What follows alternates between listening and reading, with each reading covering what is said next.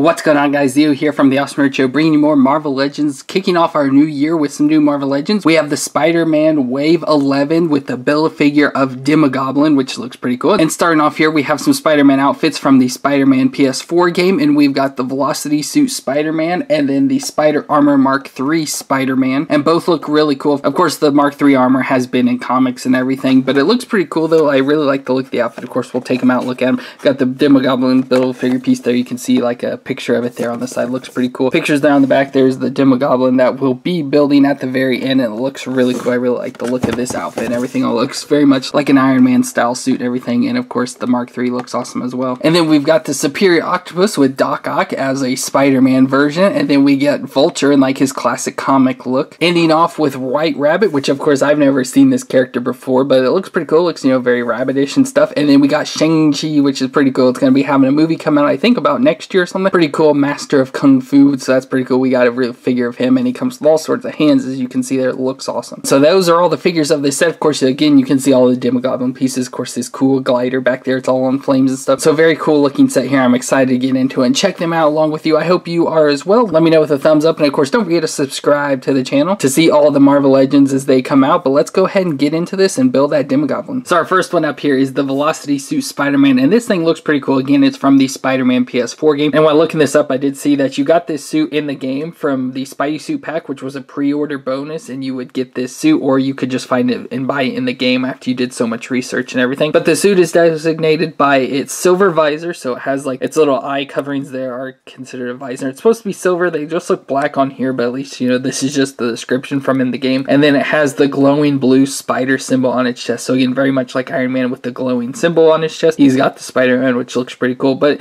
you can tell it's got the basic Spider-Man colors though, so the red and the blue, and so has the red top up here, you know, with the mask covering its face, all the way going down through its chest, has a shoulder armor, and then it has the red detail through it, so you can see the mark down its arm, there around its wrist, and then the red lines running down the body of some of the extra details there on the thighs and down on the calf and on the top of the foot there, and then it has the rest of the blue. It's like a weird, like a uh, dark blue or like a navy blue maybe. It's a different color of blue, and then the light blue from the light there is pretty cool. So the chest center there with the spider legs all come down, and the legs run down his legs and then over to his arms and stuff as well. The blue color looks very cool. There's a look at the back of it. Looks pretty cool there. I really like the look and design of this figure overall. But it said for his powers, it has the Blitz power, which is a feature that boosts his speed, allowing him to plow through enemies so he can just, you know, charge right through him. So it's kind of like Rhino and stuff. But for movements for this figure though, so the head can twist around and has some nodding. The shoulders do come up about 90 degrees, rotate all the way around. We have the bicep twist and a double elbow joint. And then the wrist can twist around and flex. And then we go to an ab crunch. So he's got the crunch there, as you can see, twist at the waist. Legs come up about 90 degrees and then off to the side a good amount. We have the thigh twist and the double knee joint. And then the foot flexes and twists side to side. So again, very cool looking figure overall. I really like the look and design of this. Again, I think this should be considered like an Iron Man armor, but it's whatever. And he doesn't really come much for accessories. Like he has the spider webbing that you can take, you know, wrap around an enemy so we can just take it and wrap around him. So there it's like, oh, he's all trapped up now. So he does come with that. And then he also comes with a leg for the Demogoblin, which we of course will build figure of that. But that's really all there is for the Velocity Suit Spider-Man. And that brings us to the Spider-Man Armor Mark III Spider-Man. And this is another outfit from the video game, but this is also exist in the comics. So the comic version is kind of the one I looked up. But with this one, it's also called the Anti-Sinister 6 armor. So the armor has a lot of stuff built into it to kind of like take down and defeat different members of the Sinister Six. So it looks pretty cool, I think, in general. And then the fact that it has different little things going on, which we'll go through. But this suit was obviously created by Peter Parker himself, and it has a bunch of weapons and gadget, like I said, to take on the Sinister Six. But it looks pretty cool. I really like the look and design of this. So I like, again, you know, it's, it's another take on Spider-Man. So we have the Spider-Man face up here, although it looks to me more like Red Hood. Like I think this could be a cool like Red Hood mask and stuff, but because, you know, it doesn't have all the webbing design all over it. But it looks pretty cool. The nice big eyes there. It kind of almost has like a bird nose to it or something, but it looks pretty cool. I like the whole robotic stuff there on the sides. We have a center outfit, so we have the red and black design on it. So I like the red here that has all the like little details you can kind of see in there. The black spider on top of the black sides. He comes out as like a little like crotch pad thing, so has a belt on here with some like utility stuff on it, but like a crotch covering. And that black and red continues down his legs, so you can see the all black insides, probably like black leather, and then the red details there on the sides of his leg. Those designs sticking out there look kind of cool. Together down to the boots, they're all red with some black details on them as well. But up on the shoulders, we get some of the blue in for Spider-Man, so we have like the big shoulder pads there on his arms and some additional blue there on like his leather outfit. And he's got like some gauntlets on, looks like has some shooters of some sort so can shoot some out, but they're all red with black gloves with the red knuckles on them there as well. So very different looking version of Spider-Man here, especially with, you know, the different changes. Oh, and there's a look at his back, so it's like a backpack on, you know, has the legs coming out of it like a spider and everything too. Looks pretty cool for that. But yeah, different take, you know, we don't have very much blue on, it's much more black and red, but it looks cool overall. It looks like he's a motorcycler, so we just need to get a little like Spidey bike to put him with. For his movement, so it's going to be about the same. Again, we're not going to go through the same thing on every single figure, so it's about the same. I don't really see anything that's different. Just trying to go through. He doesn't have the butterfly joints on this one, which is, you know, different for Spider-Man mostly. They all have them. Um, the only thing that's real different is down here at the feet, which I don't know how well you can see. I can't really get a view in there,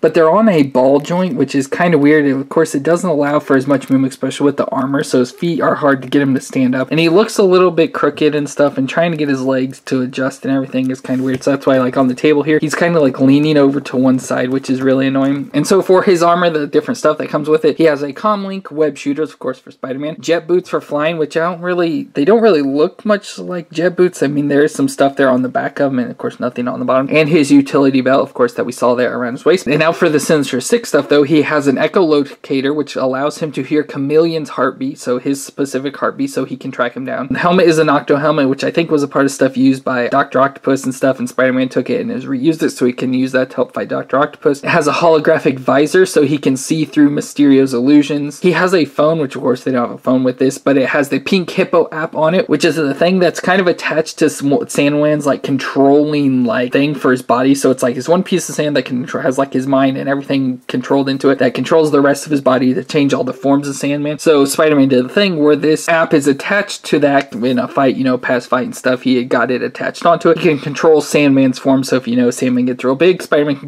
gets on his phone, pushes a button, and Sandman will shrink back down. The outfit's electro-proof, so Electro can't affect him, and with it, he can also, when he touches him, can change Electro back to his human form. And has the durability to withstand Rhino, so he can take on Rhino one-on-one. So that is all pretty cool that all that is contained into the suit. Of course, we don't get all the different features, though, of that, which is kind of, you know, stuff that it can do, but we don't see it. But for his accessories, again, the only thing he really comes with is another spider webbing, but this one goes on the face, so you can just take it. Of course, maybe on a human, it'd look a little bit better, but you can just take it and, yeah, stick it on his face, so we can take that, and then, like, the shoulder part, of course, we're gonna stick it together so we can really be like Spider-Man's really, you know, trapped and tied up somebody, so that's pretty cool. And then he comes with the other leg for Demogoblin, and that's really all he comes with, but it looks pretty cool here, there, and everything for the Spider-Man Armor Mark III. And now this figure is probably one of my favorites out of the set, because I just love the look and color of it, but we have Superior Octopus, which of course is Otto Octavius, in a Spider Superior Spider-Man inspired suit, and of course there's a whole storyline with Dr. Octopus and Peter Parker and Superior Spider-Man and everything, where Doc Ock, you know, transfers his mind into Peter Parker, and there's cloning, and all sorts of different stuff. Of course, I don't know everything that's going on with it. It was such a long storyline thing that got me all confused and everything. But this is back to Otto Octavius, and this suit just looks super cool. I love the colors of the black and the gray with the neon green mixed into it. Then, of course, he has the tentacles and everything, which Superior Spider-Man, you know, has the four extra arms coming off of it, but this time we have the tentacles of Dr. Octopus, so that looks really cool mixed in with it, and it just is such a cool looking figure. So Otto got this outfit with a combination of Hydra. He found like a whole Hydra thing, and so with Hydra's resources, he was able to create this suit, and so that's why it looks so cool, I think, and kind of, you can kind of, well, obviously it's Dr. Octopus, but it kind of has, you know, like the Hydra inspired like look on it with the head with all the tentacles coming out, and, you know, Octopus as well, so they kind of fit really well together. But looking up at the top here, so again, we have the light gray portion here from his chest up, and we also have his face and everything, so he has the neon green glasses with the black lines going around through it down his back, and again, like I said, the Octopus inspired design on here, or Hydra could be even, it's the neon green, so we have the head, of course, the two eyes, and then the eight legs coming off of it. It looks very cool. I don't know what the little dots are down there, though. It looks kind of weird. But I love that neon green color mixed in with this. It just looks so cool on the black with the light gray as well. It looks very cool. And then the rest of the outfit's pretty much just black all the way down, as you can see. So it just has the light gray up the top. He does have some fist things on with some gauntlets and stuff there on his hands, probably, you know, some more technology inspired things. And then just out his legs, and then you get some light gray stripe there down on his feet. And then, of course, he has his cybernetic tentacles coming off of his back. So has a little backpack on that you can take off. So that's pretty much like his accessory, but we already have it on there for him. And you can take the tentacles, switch them off range. But I don't even know if those are in the right arrangement. But that's just the way the backpack lines up. That's where they feel that they work the best at and everything. And it doesn't look too bad. But I just love the look of this though. But for movements and joints, so everything's pretty much going to be the same again. This one does have the butterfly joint on. I can't really there that would, you can really see the butterfly joint there. But everything else looks exactly the same. So of course have the same shoulder shoulders, double elbow, wrist, ab crunch, waist twist, thighs, knees. Oh, this one does also have the shin twist right at the top of like his boots and then the normal feet. So again, looks very cool. And another thing feature that he has is he has ink shooters instead of web shooters. So that's pretty cool. So it fits in, you know, with an octopus and everything. So very cool that it comes with that as well. But other than that, he doesn't really have much with it. We'll take, you know, closer look there at the back and everything. Looks very cool. Like I said, probably the black, light gray, and neon green just make this my favorite looking figure. So that's just super cool. And I love the tentacle arms and stuff. And then the other thing comes with is the hands for Demogoblins. But that's it. Besides the cybernetic arms, no other accessories or anything. But that's pretty cool there for a superior octopus. Then we have another cool looking villain here, Vulture, which I think looks, looks pretty cool. I think consider it like the classic look of Vulture. And I really like this figure a lot. So Adrian Toomes as Vulture. Of course, if you've seen Spider-Man Homecoming, you've seen Adrian Toomes as Michael Keaton and stuff. Pretty similar and stuff overall. Not too much different. He's an electrical engineer that developed this electromagnetic harness that allows him to have wings for flight. And so also with that, he is considered a super genius. Adrian Toomes here developed again this wingsuit and of course he was working on it with a guy and then the guy, you know, left a partnership so he turned it into a villain and stuff to do crime and everything. And so he used that wingsuit to be able to fly around and stuff. And so I'm surprised this thing stands. Of course, it's just wings attached onto his arm, but I'm surprised it stands as well as it does. Of course, if you get some movements around stuff, it may not stand as well. But there's a look at Adrian Toomes' face, of course, the comic style version with the old man. So he looks a lot older and stuff. He's now some splotches there on his bald head, so he has like a egg head almost and stuff. But I like the look. He's got some pink detailing around his eyes. Of course, the creepy smile with the big pointy nose looks very much like a bird. Big pointy gray eyebrows. So it looks very cool though with it just like old man looking face with the bald head stuff. Then we've got his vulture outfit. So again, it's all green and I like the details they added into the body. Of course, he has like the feathers or fur there around his neck. But then he's got the green outfit. So it's like a dark green color, but it's light green paint over the top of it, like especially in the center, there on his chest and down his arms. And then it has the stripes on it as well with the darker green color. So again, I really like that look and design a lot. The ones you get from his waist down, it's just all this solid darker green color. So it's kind of boring from there down. But then he's got his big wings on again. These are just popped into his arms. So they're just little sections. So there's like the back one there for his bicep. And then for his forearm, it's a the bigger section there. So it looks pretty cool. And of course you can like, you know, still because they're separated, get some movements. Of course, if they contact, they'll fall out. So there's like a look of the wing straight on and then you can kind of bend it out and around some. And of course you can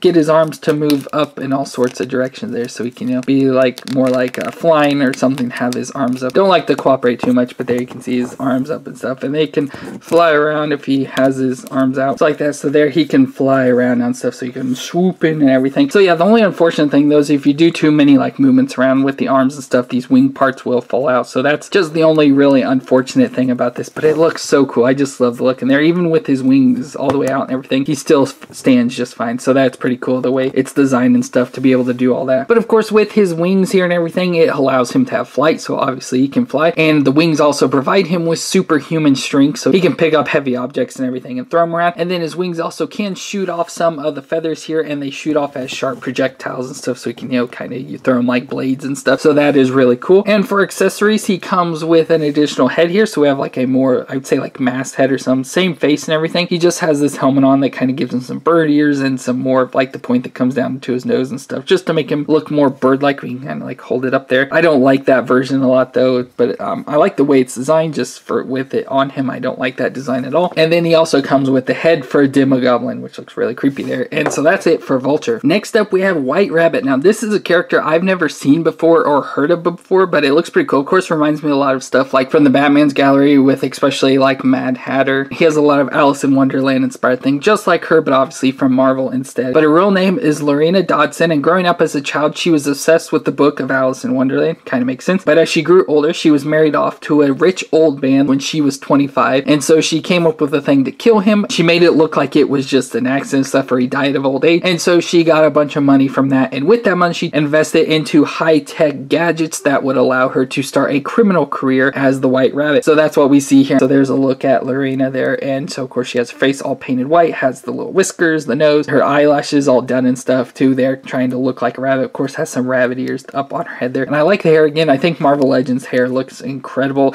I like how it's like an orangish blonde color, and again it's all flowing and stuff. Looks very cool. I like even the little pink bow tie on there. And her outfit's pretty much just what looks to be what, I forget what they call them, but the rabbits of like Playboy or something. So she has kind of like corset on with some sort of probably like bikini pants. I don't really know what kind of pants you'd call that, but just maybe some sort of like spandex outfit or something on there. And you can even see she has a clock there, kind of like the White Rabbit from Alice in Wonderland, so a little clock on there. Then she has has the blue overcoat on over the top of it, again, very much like the White Rabbit has. She has white gloves on, and you can go down to her feet where she has white boots on that I think look really cool. I really like these boots. They're a little bit different style boots from Marvel Legends, but I really like them. They're all furriness and everything. For her movements, it's going to be the same as usual. She does have the, of course, the ab crunch and stuff right there at her chest, but it doesn't really bend forward at all. So it can twist side to side a little, as you can see there, but it does like crunch back a little. So unfortunately, don't get a whole lot of movement going on in there. But other than that, it looks the same. Again, she has the shin twist there at the top of the boots, and then just have the normal foot movement in there and stuff. So nothing too special or different. Of course, it is a female, so she has a lot of like skinnier joints and everything. So has skinnier arms and legs. But other than that, it's you know pretty much just the same character. I like the look and design overall. Looks very much like the White Rabbit based from Alice in Wonderland as a human could look. So it's like a cool cosplay. I'm surprised we don't see more people doing that, but it still looks pretty cool. But for her stuff, she is a martial artist, so that's about the only like skill she possesses. But she has a lot of stuff in her armory.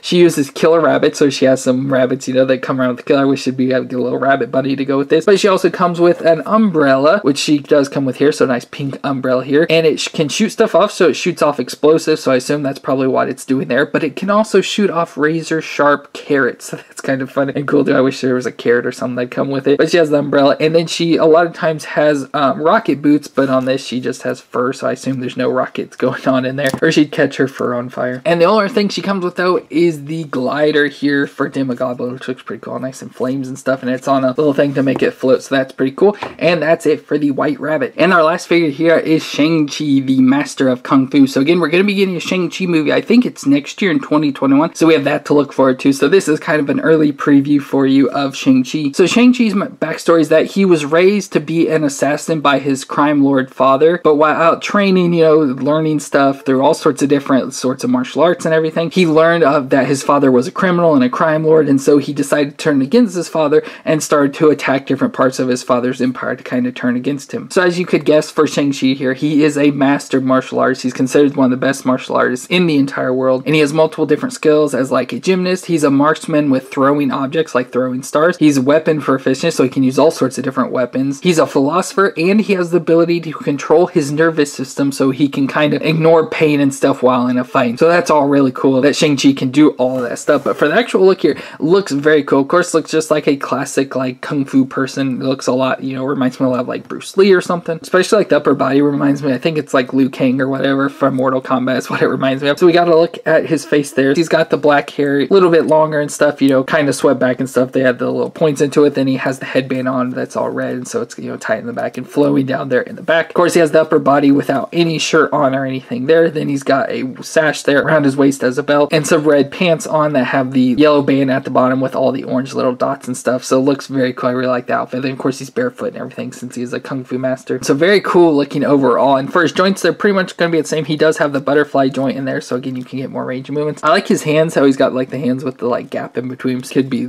like some stances or have some weapons or something. It looks like they'd be perfect for like some sais or something to stick in his hand. But he doesn't come with any. Unfortunately, has the ab crunch and the feet. The only difference is he's got the bare feet down at the bottom, so he does have the twist right at the bottom of the pants there for the foot as well, and then of course the normal feet joint for his bare feet. And I think his feet look pretty normal. They're still a little bit fat. Marvel Legends doesn't know how to make good looking feet, and his you know kind of fit along with that as well. But they're not too bad. They look like they fit pretty well. But for his accessories, he comes with quite a bit of different stuff. He comes with some nunchucks here, which I don't know if these are the exact nunchucks, but I did see in the research that he does have a set of nunchucks that were designed by Tony Stark, and they can emit and a repulsor blast when hitting somebody at a certain like power and stuff. So you can obviously just take them and design them, you know, put them in his hands. Again, out there comes with some different hands. We'll see in a second, but you can do a classic where he's got the nunchucks under his arm. Of course, if he had a grip hand, it'd probably hold it a lot better, I would think, you know, just where it's held in his hand and under his arm. And then this one, I don't know what you do. You could probably have, you know, two hands. You just kind of hold it together somehow. I don't really know exactly what you do with it. Again, we need better hands on it. But speaking of better hands, he comes with a bunch of them. So he has those two hands there. He comes with some more like gripping, or I'd say, I don't know what you'd say, like claw style hands. So hands in a claw version. He comes with two fists, obviously, for punching and everything. He's got two flat hands. So again, some more posing and style of kung fu. And then he has the grip hands there as well. So again, for that'd be better for holding the nunchucks and everything. So very cool overall for Shang-Chi. I'm excited for the movie. I want to see what they what the movie looks like for what I'm kind of excited to see a kung fu movie and then see how it would fit in overall with the Marvel universe. I think that'd be pretty cool. So I'm excited for that. And then of course we have the last the main body part here for Demogoblin stuff. So we can now get ready to build him. And that's pretty cool there for Shang-Chi. So now we got all the parts here for Demogoblin, so let's go ahead and put them together. So there we go, we got Demogoblin all together, and so it looks very cool. Of course, I didn't think to even like look up stuff for him, unfortunately, so I can't really tell you much about him, but it looks pretty cool. So I assume it's a different version or form of Goblin, just as a Demogoblin. So of course, the Build-A-Figure was kind of really hard to put together. The legs were almost impossible for us to get popped in. This arm isn't popped in, so it easily falls right out. So if like you lift it up, it just easily comes right out. It doesn't like lock in or anything. So not the best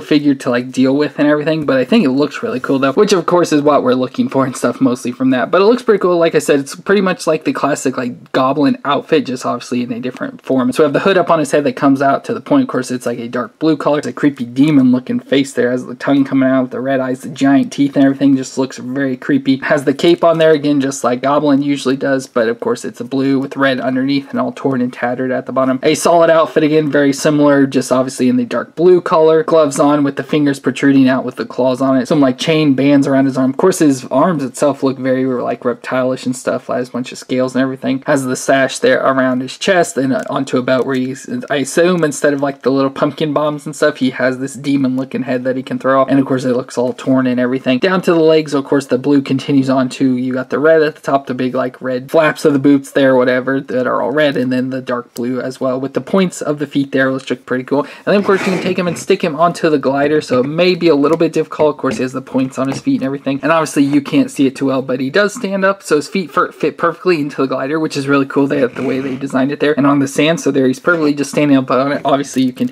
usually he'll be like bent down and stuff, which that'll be something you know have to we'll have to adjust ourselves and get him to bend down and everything to fit on there. So unfortunately, I can't you know show the whole thing, but there's a look of him like standing on the glider. Of I can't get it to fit in there for you, but it looks very cool. And I'm, it's awesome that it comes with a stand that can actually float and everything. But the glider looks really cool. So again, it has a demon style face with more like a beak nose and stuff and kind of a weird mouth, but then it's all flames and stuff, so it looks pretty cool. Until the red, the yellow, and then orange at the back looks very cool. As of course the two little things there to hold his feet on, and then on this clear glider, which Hasbro's used in the past and stuff. So very cool that it comes with all that, and very cool for this figure overall. So that's gonna be it for this Marvel Legends Spider-Man Wave 11 with the Build-A-Figure Demogoblin here, which looks really cool. So I hope you enjoyed this wave with all the different Spider-Man and villains that we got with it. Very cool set overall, I think. So I hope you enjoy. If you did, let me know in the comments who was your favorite character out of this set. Leave a thumbs up on the video, and of course subscribe to our channel. Thank you all for being awesome, and I'll see you next time.